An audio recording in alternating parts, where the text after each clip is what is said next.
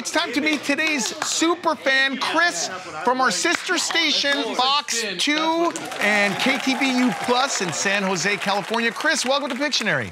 Hello. Hey, Chris, what do you like to do when you're not watching Pictionary? I actually, I love to go to theme parks, especially Disney theme parks. Theme parks. Do you do the scary rides, like the ones that go upside down? Oh, of course. Whew, well, you're you're braver than I am. All right, I am so excited to play with you. Head crack, tell him what he could win. A $250 Bartesian gift card. The Bartesian home cocktail maker crafts over 60 premium cocktails at the touch of a button in the comfort of your home. All right, I'm gonna give you a clue, Chris, and then draw. You have 10 seconds to guess correctly, and if you do, you will win a Bartesian gift card. Your clue is something on your head. Something on your head. 10 seconds on the clock. Here we go. Okay.